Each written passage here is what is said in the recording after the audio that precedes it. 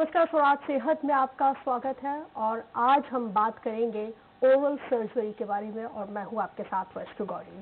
Oral का मतलब है मुँह, दांत, जबड़ा और मसूड़े, जिसमें छोटे, बड़े जबड़े, हड्डियों की वजह से चेहरे का बिगड़ना या फ्रैक्चर होने पर जबड़े को जोड़ने और सुधारने जैसी सर्जरी होती है। इसके अलावा अकल दांत खराब दांत को हटाने और ट्यूमर को बाहर निकालने की सर्जरी भी ओरल सर्जन ही करते हैं। ओरल सर्जन दांत को इम्प्लांट करना होठ जो फटे हैं, होने के इलाज में भी बेहद मददगार साबित होते हैं। इसके साथ ही होठों और जीभ, गालों के अंदर की सतह पर या मसूड़ों में किसी भी प्रकार की कोई गांठ के कैंसर का भी इलाज करते हैं। ये ट्रीटमेंट फंक्शनल और एस्थेटिक दोनों पहलुओं को ध्यान में रखकर किया जाता है। तो इन्हीं सब सर्जरी को समझने के लिए चलिए शुरू करते हैं अपना खास कार्यक्रम स्वराज सेहत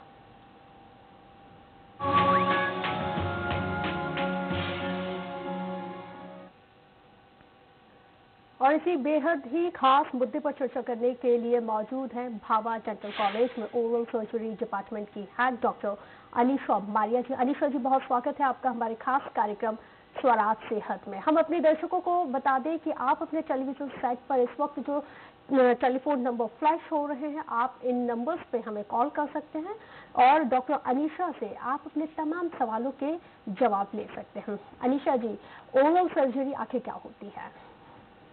ये बहुत ही अच्छा सवाल है बिकॉज़ दो आपने इतना अच्छा इंट्रोडक्शन दिया, लेकिन मैं आपको बता दूँ आम जनता को बहुत कुछ मालूम नहीं होता है व्हाट ओरल सर्जन्स डू और बी uh, का कोर्स जो होता है वो बैचलर ऑफ़ डेंटल सर्जरी वो पाँच साल का कोर्स होता है। उसके बाद हम लोग को मास्टर्स की डिग्री मिलती है जिसमें नौ स्पेशलिटीज़ होती हैं। उन नौ स्पेशलिटीज़ में से एक है ओरल सर्जरी और ओरल सर्जरी ही एक ऐसी स्पेशलिटी है जिसमें हम लोग इन पेशेंट का ट्रीटमेंट करते हैं। यानी कि पेशेंट को हॉस्पिटल में एडमिट करके उसके ऑपरेशन होते हैं। ऑपरेशन थिएटर में just like general surgeon and orthopaedic surgeon and बाकी सारे जो मेडिकल स्पेशलिस्ट हैं उनके जैसे ही हमारी भी स्पेशलिटी है। सो so, हम एक ही यू माइट से स्पेशलिस्ट हैं डेंटिस्ट्री के जो कि हॉस्पिटलाइजेशन पेशेंट के काम करते हैं। ओके तो डॉक्टर अनिशा जिस तरह से मैंने पूछा कि ओरल सर्जरी क्या है और क्या ओरल सर्जरी में फेस के बोन्स के फ्रैक्चर का भी इलाज किया जाता है और किया जाता है तो ये कितना इसमें वक्त लगता है ओरल सर्जन जो आ, सारा surgical head face neck area जो है हम्म, हम्म। इसका सारी सर्जरी ओरल सर्जन ही करते हैं और फ्रैक्चर भी जब जबड़े के आ, होते हैं एक्सीडेंट्स में वो भी हम ही ट्रीट करते हैं वैसे तो कंपटीशन है बाकी लोग भी करते होंगे लेकिन माय टेक इज़ दैट जब ओरल सर्जन करते हैं तो हम लोग क्योंकि बेस हमारा डेंटिस्ट्री है हम्म। तो हम लोग दांतों का ज़्यादा ध्यान रखते हैं हड्डी जोड़ने के समय तो जब हड्डी जोड़ी जाती है सिर्फ़ उसका बॉर्डर नहीं मिलाए जाते हैं हम लोग ये देखते हैं कि दांत भी अपनी जगह पे हैं कि नहीं क्योंकि आप बिलीव नहीं करोगे अगर हमारे दांत आधा मिलीमीटर भी शिफ्ट हो जाए गलत पोजिशन हम्म। में फिक्स हो जाए हम्म, तो हम उससे खा पी नहीं सकते हैं। और ये पेशेंट मतलब कोई भी इंसान टॉलरेट नहीं कर सकता अगर दांत थोड़े से भी हिल जाए जगह पे से।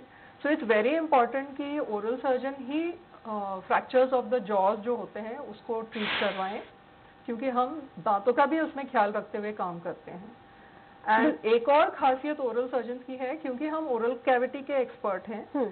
तो हम लोग जो इंसीजन्स मारते हैं वो फ्रैक्चर की तरफ़ पहुँचने के लिए मतलब जो यू माइट से जो कट करते हैं हड्डी की तरफ़ पहुँचने के लिए प्लेट डालने के लिए हम्म, हम्म, हम्म। वो इंसीजन इंट्राओरली दिए जाते हैं इन द सेंस कि ओरल कैविटी के अंदर से सारे इंसीजन दिए जाते हैं जिसकी वजह से सबसे बेस्ट फ़ायदा ये होता है कि फेस पे कोई स्कार नहीं आता जब हम फ्रैक्चर ट्रीट करते हैं हम दो there are extra oral incision तो हैं ही लेकिन हम लोग वहाँ से ना जाते हुए अंदर से काम करते हैं जिसकी वजह से पेशेंट के मुँह में कोई निशान नहीं आता है ये सबसे बड़ी खासियत ओरल सर्जन की फ्रैक्चर ट्रीटमेंट की है।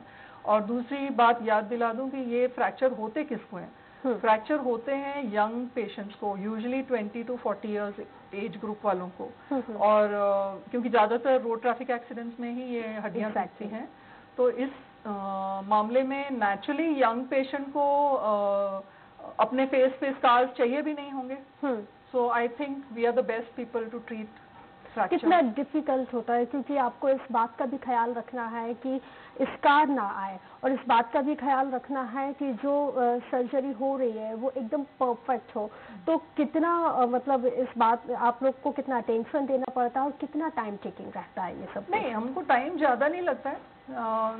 जितना टाइम एक सर्जरी को लगेगा उतना ही लगता है। There is no problem about that is just that ये जो एक स्किल होती है हम्म। ये हम में खास है जिसकी वजह से पेशेंट को ही बेनिफिट होता है। कॉस्मेटिक बेनिफिट ये भी होता है कि हम सर्जरी सारी मुँह के अंदर से करते हैं जिससे कि बाहर कोई निशान नहीं मिलता है। That is the best part बिल्कुल वाकई में क्योंकि आजकल जितने भी युवा हैं वो कंसर्न भी इसलिए हैं क्योंकि उनके फेस पे किसी तरह का कोई स्कार ना आए। एक छोटा सा मोल आ जाने पर तो मतलब वो इतने ज़्यादा कॉन्शियस हो जाते हैं कि लेज़र ट्रीटमेंट लेना स्टार्ट कर देते हैं। तो वाकई में आप लोगों का जो जॉब है वो बहुत ही ज़्यादा डिफ़िकल्ट है। डॉक्टर अनिशा, क्या ओरल सर्जन जो जैसे कि आप खुद एक ओरल सर्जन है तो मुँह के कैंसर की सर्जरी में भी क्या आप लोगों की हेल्प ली जाती है? आप लोग ही करते हैं मुँह की सर्जरी ये भी एक बहुत अच्छा सवाल आपने किया है, क्योंकि ओरल सर्जरी वाले काफ़ी सालों से बहुत मेरे जो टीचर्स होंगे उस ज़माने में तो नहीं कैंसर को ट्रीट करते थे लेकिन अब एडवांसेस हर कोर्स में हो गई हैं तो ओरल सर्जरी कोर्स में भी ऑन्को सर्जरी ऐड हो गई है बट हम्म। इसके लिए हम लोग थ्री इयर्स एम करने के बाद वन या टू इयर्स मोर फेलोशिप करते हैं ऑन्कोलॉजी में हम्म। और उससे जो उस तरफ़ झुक जाता है जिसको कैंसर की तरफ़ इंटरेस्ट हो हम्म। वो एडिशनल ये दो साल और लगाता है अपनी ट्रेनिंग में और उसके बाद वो बिल्कुल कैंसर और मेरे बहुत सारे कोलीग्स हैं जो आज फैंटास्टिक कैंसर सर्जन हैं ओरल कैविटी के ओके एंड ऑन्को सर्जन जो जनरली होते हैं वो भी अपना स्पेशलाइजेशन ढूंढते हैं। कुछ लोग लंग कैंसर में ज़्यादा कॉलर जुड़ गए आपको रोकना चाहूँगी। दादा उबाले हैं अहमदनगर महाराष्ट्र से हमारे साथ इस वक्त फ़ोन लाइन पर जुड़ गए हैं। उबाले साहब बहुत स्वागत है। सवाल कीजिए अपना। मैडम। जी। महाराष्ट्र के अहमदनगर ज़िले से मैं दादा उबाली बात कर रहा हूँ। जी। मेरा सवाल ऐसा है कि अपने शरीर के कौन कौन से पार्ट पर ओरल सर्जरी की जाती है और इसके कोई साइड इफ़ेक्ट होते हैं या नहीं इसके बारे में बताइए मैडम। ठीक। कहाँ पे ओरल सर्जरी उनका सवाल ये था कि बॉडी के किस किस पार्ट पे ओरल सर्जरी की जाती है और उसके क्या साइड इफेक्ट्स हैं? किस पार्ट में मैं समझी? मतलब उनका वो शायद सवाल ये करना चाह रहे थे कि मुँह के किस किस पार्ट में आ, जो ओरल कैंसर ऑफ़ ओरल मतलब कैंसर सर्जरी मुँह के कौन से हिस्से में? ओके ओरल सर्जन जो है वो पूरा आपका ये जो मैग्जिला है ऊपर का जबड़ा है और नीचे का जबड़ा के एरिया में और नेक में तो जाना ही पड़ता है कैंसर सर्जरी ऐसी है कि इसके जो लिम्फ नोड्स होते हैं ना वो तो डिसेक्ट करने ही पड़ते हैं हम्म, हम्म। और वही मैं आपको समझाने वाली थी ओवर दिस कैंसर टॉपिक जब आया हम्म। कि कैंसर कभी भी सिंगल पर्सन का काम नहीं होता है इसमें हमेशा एक टीम होती है टीम में प्लास्टिक सर्जन भी होते हैं और हम लोग रिसेक्शन करके ओरल सर्जन भी रिकंस्ट्रक्शन पार्ट कर लेते हैं। मतलब जब आपने इतना हिस्सा काट दिया है कैंसर वाला तो बहुत बड़ा हिस्सा होता है वो क्योंकि एक प्रिंसिपल है कि जितना ट्यूमर दिखे उससे टू सेंटीमीटर आगे जाके आपको कट मारने पड़ते हैं। टू मेक इट सेफ़ कि सही में सारा ट्यूमर बाहर आया है कि नहीं। तो टू सेंटीमीटर आगे जाके आप इतना सारा जब एरिया काटोगे तो नेचुरली बहुत बड़ा डिफेक्ट रह जाता है फेस पे। सो नेचुरली सर्जन जो हैं हम ओरल सर्जन जो है इतने हिस्से पे पूरा नेक तक डिसेक्शन करते हैं।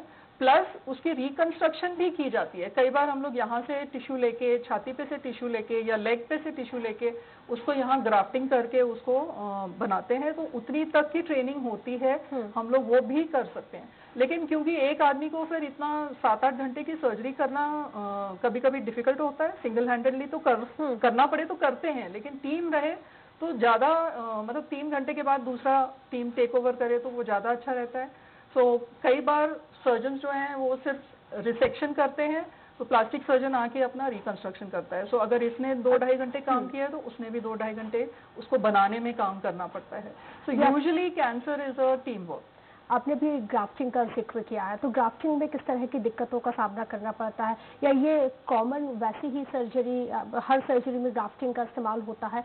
या फिर स्पेशली अगर हम बात करें तो कॉस्मेटिक सर्जरी या फिर ओरल सर्जरी इसमें ही इस्तेमाल होती है ग्राफ्टिंग सर्जन बहुत सारी सर्जरी करते हैं। ये तो एक हिस्सा हुआ। उसके अलावा हम लोग जो हैं आपको पता होगा ये टीएम ज्वाइंट है हमारा ज्वाइंट है। आपको रोकना चाहूँगी हाँ। तो और हमारे साथ कॉलर रांची से जुड़ गए फूल सिंह है। फूल सिंह जी बहुत स्वागत है। सवाल कीजिए अपना। संपर्क नहीं हो पाया है। अलीशा जी अपनी बात पूरी कीजिए। सो so, हमारा एक ज्वाइंट है यहाँ टीएम जॉइंट ये प्रॉब्लम इस जॉइंट की प्रॉब्लम्स भी ओरल सर्जन ही हैंडल करते हैं। हम्म। इस जॉइंट में आपने बहुत सारी पब्लिक को ये जानकारी भी नहीं होगी कि कई बार आपको अपनी आवाज़ें सुनाई देंगी। इसमें क्लिक क्लिक होना शुरू हो जाता है। दर्द हो या ना हो इनफैक्ट दर्द बहुत लेट स्टेज में आता है। हम्म। पहले तो शायद सिर्फ़ आवाज़ें सुनाई देंगी इसमें से। ये एक सिग्नल है कि कुछ गड़बड़ हो रही है जॉइंट में।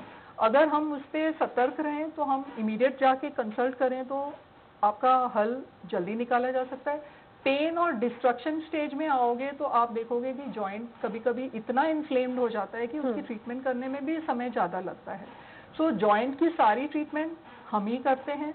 उसके अलावा हम लोग आपने देखा होगा कुछ बच्चे जो हैं क्लेफ्ट लिप और पैलेट के साथ पैदा होते हैं यानी कि उनके होठ हम्म। कटे हुए ही पैदाइशी पैदा होते हैं या तालू में छेद रोकना चाहूँगी। कामत साहब जुड़ गए गोवा से कॉलर हैं। बहुत स्वागत है। सवाल कीजिए अपना। मैं मेरी उम्र सेवेंटी फोर ईयर की है। हेलो जी जी जी आवाज़ आ रही है। कामत साहब सवाल कीजिए। मेरे तीन तीन दांत निकल गए हैं। हम्म। वो, वो, रिप्लेस कर सकता है क्या ओरल सर्जरी से? एक बार सवाल फिर से दोहराइए अपना कामत साहब। मेरा मेरा ये सेवेंटी फोर ईयर है। जी। मे, मेरे तीन दांत निकल गए हैं तीन या दांत। जी। और मैं अभी ओरल सर्जरी के इससे वो दांत फिर से रिप्लेस कर सकता है क्या? यस यस वही मैं बताने वाली थी कि ओरल सर्जन डेंटल इम्प्लांट भी करते हैं।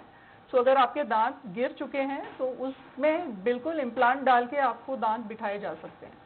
आपको वो आ, मतलब वो निकालने वाला डेंचर जो है वो पहनने की ज़रूरत नहीं पड़ेगी। ये अपने आप ही फिक्स डेंचर जैसा हो जाता है।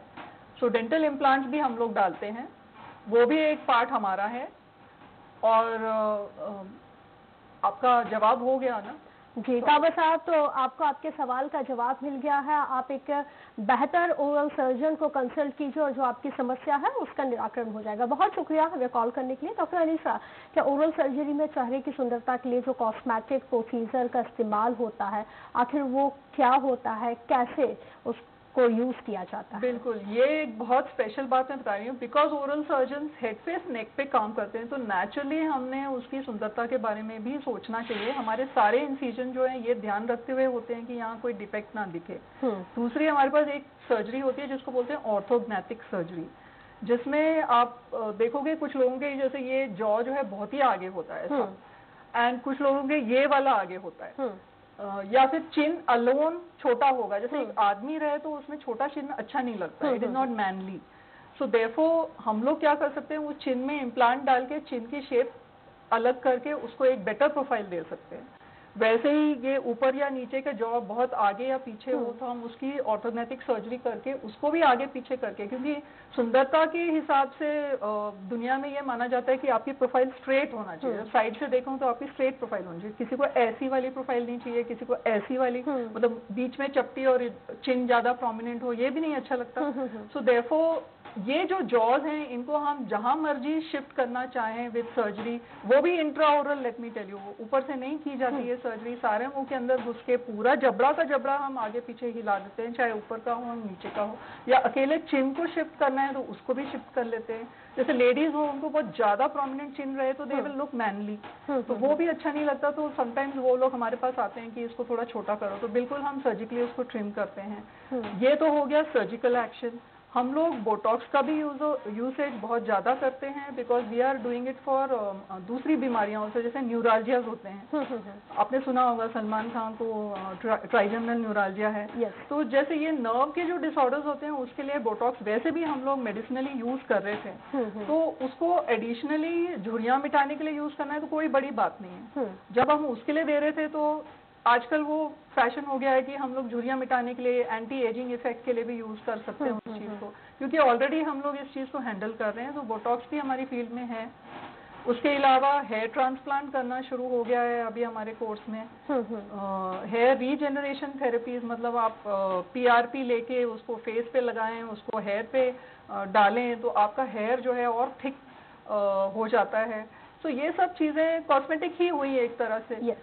एंड फ्यूचर uh, में तो मैं आपको बताऊँ ओरल सर्जरी में फेस लिफ्ट भी आने वाला है अभी तक तो प्लास्टिक सर्जरी ही करते हैं उसको हम्म। लेकिन ये कोई बहुत बड़ी जहाँ तक हम यहाँ की सर्जरी कर लेते हैं इतने बड़े बड़े चीज़ें कर लेते हैं हम्म। तो फेस लिफ्ट कुछ नहीं है सिर्फ़ ये स्किन को उठाना उसको खींच के टाइट करना ट्रिम करके सूचर करना हम्म, सो ये जो है हम लोग नहीं कर रहे हैं अभी एक्चुअली बट ये भी नेक्स्ट स्टेप हमारी फ़ील्ड में अभी हो जाएगा। Yes definitely it will come because we are so much मतलब हम इस एरिया से इतने फेमिलियर हैं यहाँ की मसल्स नर्व्स ब्लॉक्स हम लोग को इतने कॉन्फिडेंटली देने आते हैं कि ये सब चीज़ें हमारे लिए ओरल सर्जन के लिए लाइक यू माइट से दाएँ हाथ का खेल है। Exactly. वैसा टाइप का सीन है।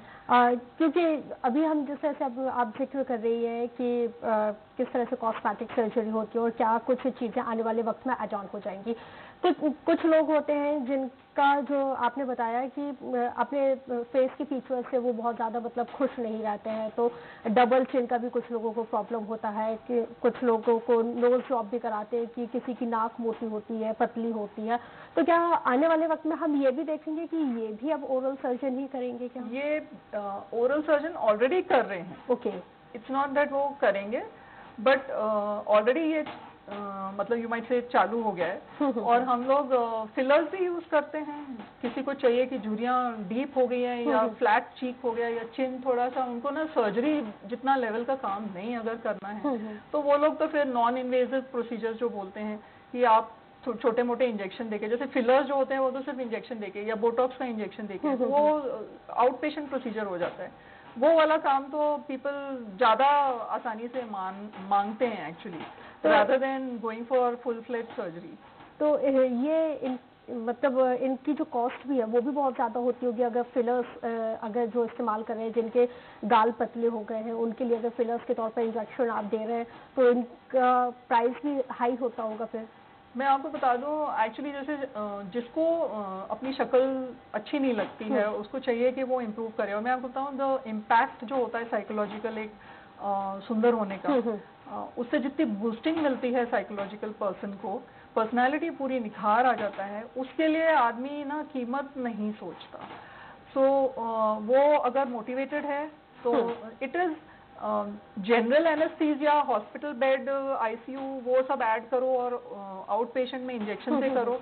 में बहुत ज़्यादा अंतर नहीं आएगा क्योंकि सर्जरी में हमारी स्किल के ऊपर और हॉस्पिटलाइजेशन पे कॉस्ट जाता है डिपेंड करता लेकिन। चेयर पे मटेरियल पे जाता है जैसे फिलर थोड़ा सा थोड़ा सा हल्का हाँ. सा। महँगा होता है लेकिन it is five minute job तो ये फ़र्क पड़ जाता है वहाँ आप एक दिन हॉस्पिटल में पड़े रहोगे यहाँ आप आए वॉक इन करे करा के निकल गए। निकल गए। ये फ़ायदा हो जाता है। कोई साइड इफ़ेक्ट नहीं नो नो नो नो ये सब सेफ़ मटेरियल्स है no side effect Uh, surgery के साइड इफेक्ट्स हो सकते हैं। ग्रेट कॉलर जुड़ गए हैं हमारे साथ। रोहित हैं सतना से। रोहित जी बहुत स्वागत है। सवाल कीजिए अपना। नमस्कार मैम।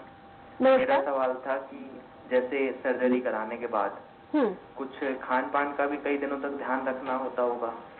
कौन सी सर्जरी आप किस तरह की सर्जरी कराना चाहेंगे और किस तरह की सर्जरी के बारे में पूछ रहे हैं उसके रिगार्डिंग फिर आपको जवाब दें। जैसे मुझे नाक की सर्जरी करानी है अपनी मतलब नाक की? हाँ। जी क्या प्रॉब्लम है राइनोप्लास्टी हाँ थोड़ी सी हड्डी पड़ी हुई है। ओके। नहीं राइनोप्लास्टी का खान पान से कोई कनेक्शन ही नहीं है। आपका मुँह तो फ्री है ना। आप बिल्कुल सब खाएँगे। कोई प्रॉब्लम नहीं। ठीक। तो रोहित जी, आपको आपकी परेशानी का हल मिल गया है और जो सर्जरी आप कराने जा रहे हैं, बस उसके लिए आप एक अच्छा डॉक्टर कंसल्ट कीजिए। एक और कॉलर हमारे साथ इस वक्त फ़ोन लाइन पर जुड़ गए। संजय जी, बहुत स्वागत है। सवाल कीजिए अपना। चाहता हूँ कि जो मेरी नोज़ है, जो मेरी नाक है, उसकी जो हड्डी जो है, एक वो हड्डी मतलब थोड़ी बड़ी है हड्डी। तो उसे क्या सर्जरी कराया जा सकता है या फिर वो नॉर्मल है? कोई बीमारी तो नहीं है ना मतलब मैम नाक की हड्डी। जी मैम। बड़ी है मतलब किधर से बड़ी है? अंदर की तरफ़ से नोस्ट्रल्स ब्लॉक कर रही है या आप शेप की बात कर रहे हो? नहीं मैम बाहर बाहर से बात कर रहा हूँ मैं। बाहर से वो थोड़ा सा ऊँची है मतलब जैसे जी जी जी you know like a hooked nose और something yes ma'am yes ma'am हाँ। नहीं दैट इज़ कॉस्मेटिक प्रोसीजर उससे आपका ना ब्रीदिंग में तो कोई प्रॉब्लम है नहीं वैसे तो। नॉर्मली लोग इसको ठीक कराने इसलिए जाते हैं कि वो शेप उसका यू नो स्ट्रेट नोज़ को सुंदर गिना जाता है। सो so, अगर आपका मोटिवेशन उस डायरेक्शन में है तो फिर वैसा करवा लीजिए उससे कोई साइड इफ़ेक्ट तो होगा नहीं। वो लोग बेसिकली अंदर जाके उसको ट्रिम कर देंगे और आपका शेप अपने आप आ जाएगा फिर। इसमें कितना वक्त लगता है ट्रिम करने में भी? नहीं ये अंदर जीए करें जनरल एनेस्थीसिया में होगा। एक दिन हॉस्पिटलाइजेशन का तो खर्च आता ही है। And surgery itself will not be more than 45 minutes तो बहुत शुक्रिया संजय जी, कॉल करने के लिए बेहतर डॉक्टर से कंसल्ट कीजिए और ज़ाहिर सी बात है, आपको आपके सवाल का जवाब मिल ही गया है। डॉक्टर अनीसा क्योंकि अमूमन हमने देखा है कि कई लोगों को पता ही नहीं है कि अगर जो दांत है वो टेढ़े मेढ़े हो रहे हैं या उनमें कैविटीज आ रही है तो वो कितना हार्मफुल हो सकता है? क्योंकि जब किसी की अकल दाड़ आती है तो दर्द उठना शुरू होता है तो उसको भी नॉर्मल कि अरे वो एक, दो, तीन, चार साल में आ जाएगी।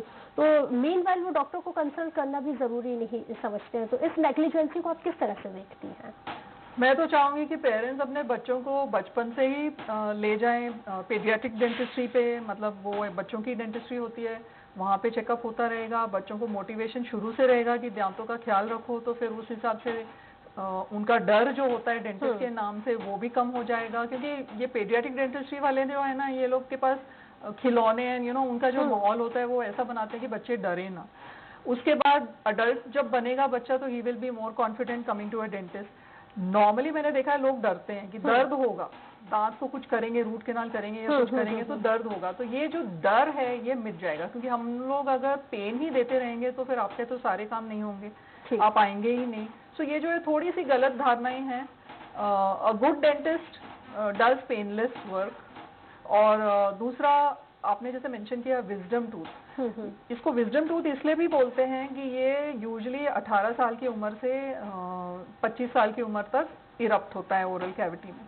और क्योंकि हमारा जबड़ा ओवर द सेंचुरीज थोड़ा सा साइज़ उसका छोटा हो गया है तो ये कई लोगों के लिए उस आखिरी मोलर के लिए जगह नहीं बचती है इन द जॉज सो वो कई बार लेटा हुआ आता है या यू you नो know, बाहर पूरा निकल नहीं पाता है. हम्म। ऐसे केस में अगर आपने नोटिस किया है कि वो आना शुरू है यूजली अठारह साल में जब ये आता है ना तो बिल्कुल आपको दिखता है कि वो दर्द हो रहा है कि वो आ रहा ही नहीं बाहर और लालीपना इन्फ्लेमेशन उस एरिया में रहता ही है. हम्म, हम्म। अब आपने उसको निग्लेक्ट कर दिया पेन किलर खा के दबा दिया फिर आप देखोगे आप एट द मोस्ट उसको दो तीन महीने दीजिए। अगर हम्म। वो नहीं आ रहा है ऊपर तीन महीने के बाद भी देन अब नहीं आने वाला हूँ। तो देन इट इज़ बेटर कि वो डेंटिस्ट के पास जाके उसके एक्सरे में देख ली जाए कि पोजीशन क्या है।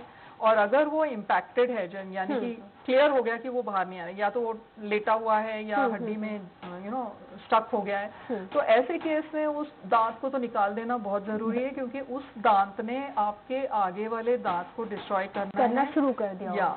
वो आगे वाले दांत जो हम चबाने के लिए यूज़ हाँ. करते हैं वो लॉस हो जाएगा और ये यूजलेस दांत जो कि वैसे भी अंदर पड़ा हुआ है आपके कुछ काम नहीं आ रहा कुछ काम नहीं आने वाला है। मतलब जितना कैजुअली ले रहे हैं इतना कैजुअली लेने की ज़रूरत नहीं है। हाँ। जबलपुर से एक कॉलर हमारे साथ इस वक्त जुड़ गए हैं।